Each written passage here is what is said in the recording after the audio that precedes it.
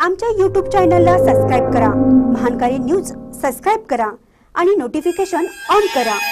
Notification on केल्यामुळे आमचे update आपल्यापर्यंत सतत पोहोचेल. उदगावचे कर्तव्यदक्ष अधिकाऱ्यांनी पूरग्रस्तांना सोडलं वाऱ्यावर. पूरग्रस्त राहिले सानुग्रह अनुदानापासून वंचित. अधिकाऱ्यांच्या कारवाईकडे नागरिकांचे डोळे. उदगाव गावाला महापुराचा मोठा फटका बसला. जवळपास निम्म गाव पाण्याखाली होतं. संसार आणि प्रपंच पाण्यासंग वाहून गेला. सरकारकडून पूरग्रस्तांना मदत जाहीर झाली. मात्र उदगावचे कर्तव्यदक्ष अधिकाऱ्यांनी नेमक्या पूरग्रस्तांना अनुदानापासून वंचित ठेवून वाऱ्यावर सोडलं. असं स्पष्ट मत आहे त्यांचं. उदगावमध्ये पूरग्रस्त नागरिकांची यादी काढून ज्या घरात पुराचं पाणी घुसलं अशा कुटुंबांचा सर्वे सरकारी अधिकारी ग्रामविकास अधिकारी व तलाटी यांनी केले. गावात पुराचं पाणी सहा दिवस होतं.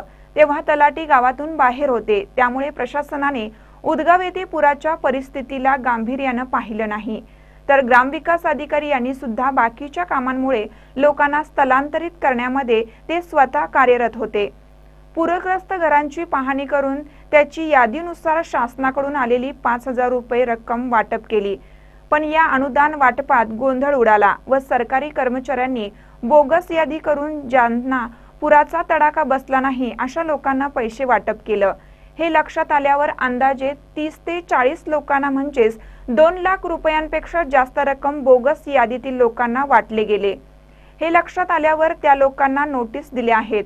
तर अशा बेजबाबदार अधिकाऱ्यांवर शासन कोणती कारवाई करणार याकडे लोकांचे डोळे लागून राहिले आहेत. महानकर न्यूजसाठी उदगावहून संतोष बिडवे.